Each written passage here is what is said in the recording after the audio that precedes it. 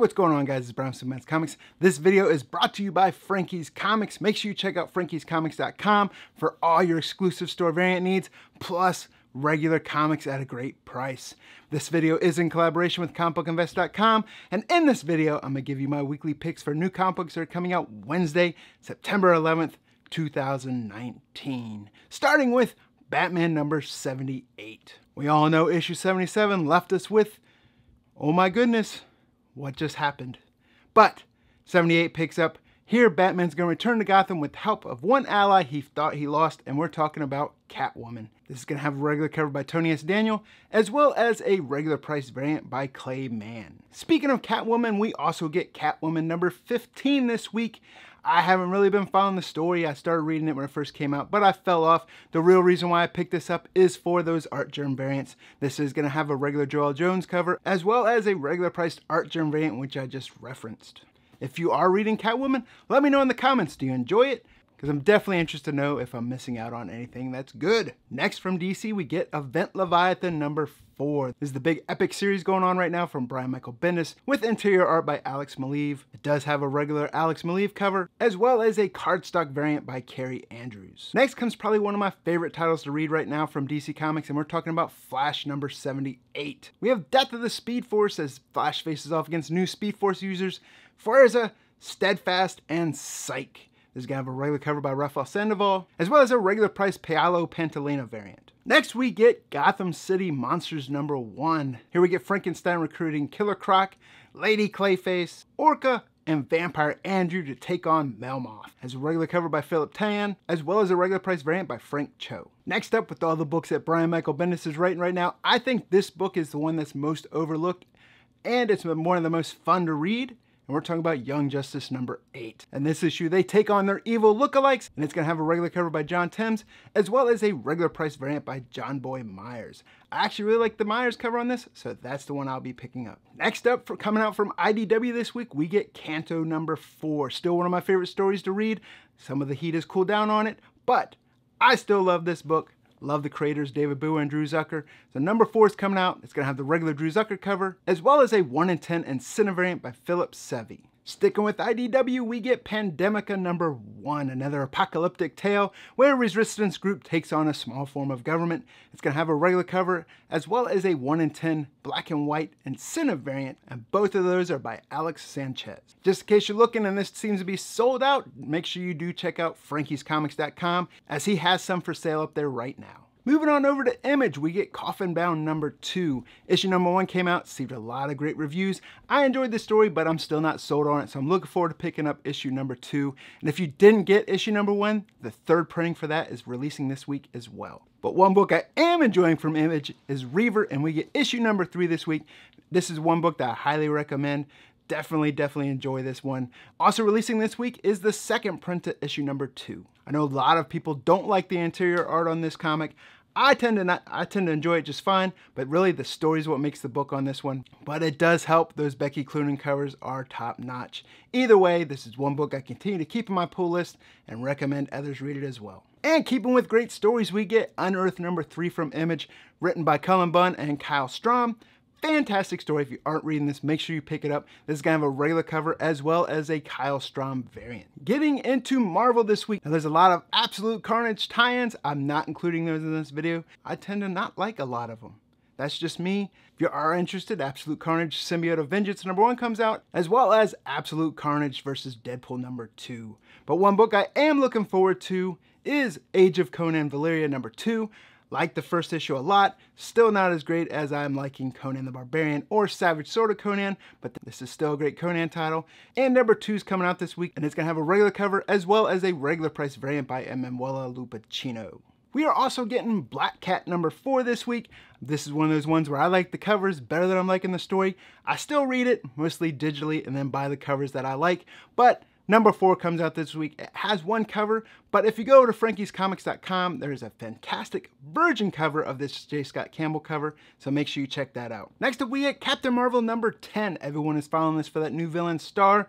I love the cover on this, fantastic Mark Brooks cover, but, but here we find out Captain Marvel is out and Star is in. Also in this issue, Carol struggles with her new role, as well as unraveling the mystery of what is happening with her powers. Next up, my favorite series to read right now from Marvel, and that is Daredevil number 11. Anytime a new issue comes out, you can bet it's going to be in my weekly picks. Chip Zdarsky's doing a fantastic job. Issue number 11, we get a regular cover by Tedesco, as well as a regular price Immortal wraparound variant. I don't like a lot of these Immortal wraparound variants, but I actually really do like this one. I'm definitely going to be picking that up this. We'll also be getting the second print for issue number 9 this week as well. Next from Marvel, we get Invisible Woman number 3. Full disclosure, I haven't really read this book, but I do really like the Adam Hughes cover on the front of it, so I'm picking it up for cover art alone. And then next one title I've been looking forward to, we get into Jason Aaron's final run on Thor. I'm talking King Thor number one. Here, the Necro Sword is fallen into the hands of Loki, and we get one last final showdown between Thor and Loki. It's gonna have five different covers for it. There's a regular cover by Esad Ribic. There's a Luke Ross Immortal wraparound variant. Also on here, what I like and what is also my pick of the week is the 1 in 25 incentive variant by Zaffino. There's also an incentive 1 in 50 variant by Adam Kubert as well. Next up, we get Miles Morales Spider-Man number 10. I've actually enjoyed reading this Spider-Man better than the regular Spider-Man right now. Lots been going on in this story. He's been held captive, but in this issue, we get the identity of that villain revealed. We have a regular cover. We have a regular price of Manuela Lupacchino wraparound variant. There's an incentive Humberto Ramos 1 in 25 variant, as well as an incentive Ed McGuinness variant. I've seen here and there, some places are soliciting it, some places aren't. Also it looks to be a 1 in 10 incentive variant, so I'm not sure if that's available or not, but it's one to keep an eye out for, especially if it is out there. Next, keeping with that John Hickman saga that's coming out week after week, we get Powers of X number 4, hot as always, everyone's been buying these up. This is going to have eight different covers as well. We have the regular RB Silva cover, a regular price new character variant, a John Tyler Christopher action figure variant, a Jorge Molina connecting variant, a character decades variant, a Skottie Young baby variant, a 1 in 10 incentive Mike Huddleston variant, as well as an incentive RB Silva virgin variant. Up next this week, we get Silver Surfer Black number four, another great title written by Donny Cates, of course. This is to have four different covers for it. We have the regular Tradd Moore cover, an Immortal wraparound variant by Alex Garner, a regular price Ron Lim variant, as well as a 1 in 25 incentive variant by Peach Momoko. And then also the bigger title that's being written by Donny Cates right now is Venom number 18. There were some spoilers, especially some images that came out this week, hinting that Sleeper might bond with Dylan Brock. We'll have to see. It's anxious to know where those panels lie in the book, whether at the beginning or in the middle or either they at the end. But either way, it's created buzz. Not like buzz needed to be created for this title because it's hot and it's gonna have three different covers. We have the regular Kyle Hotz cover. There's an Immortal wraparound variant by Will Sliney, as well as a 1 in 25 incentive Codex variant by Patrick Zircher. And completing the trifecta of Donny Cates written books, we move over independent where we get Baby Teeth number 16. This comes from Aftershock Comics. I'm happy to see this book continue to go on. Another great book by Donny Cates, fantastic story. Definitely recommend you guys read it. This is one title that came out before he started getting all that notoriety at Marvel, so it's definitely worth taking note of. And it's a great title given how horror comics have made a huge comeback lately. Also from Red 5 Comics this week, we get issue number two of Dark Age. Dark Age number one took off a lot of secondary market heat, so we're gonna see if it keeps up with that heat in Dark Age number two. There's the regular cover, as well as a 1 in 10 incentive variant by Nicholas Eli. Eli's been killing on those incentive variants. Definitely recommend picking those up if you can find them.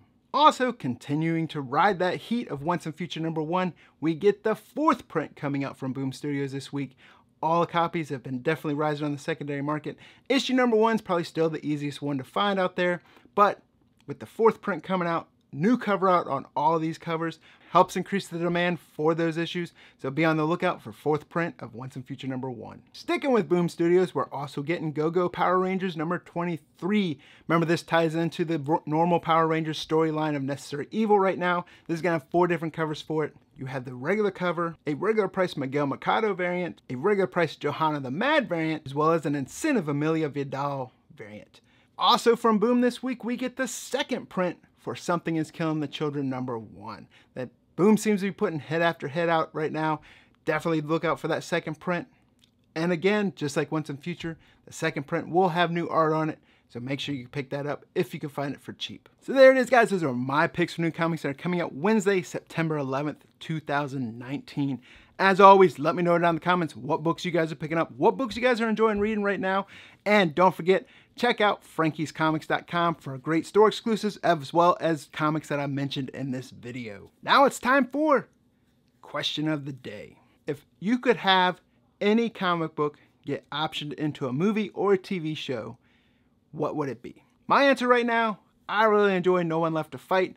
Like that story. I think it would make an awesome animated series. That would be a title, especially with that Netflix Dark Horse deal going on right now. Hope that would happen, but either way, still a great book. So once again, this is Brian with Simpleman's Comics, and I'll see you guys next week.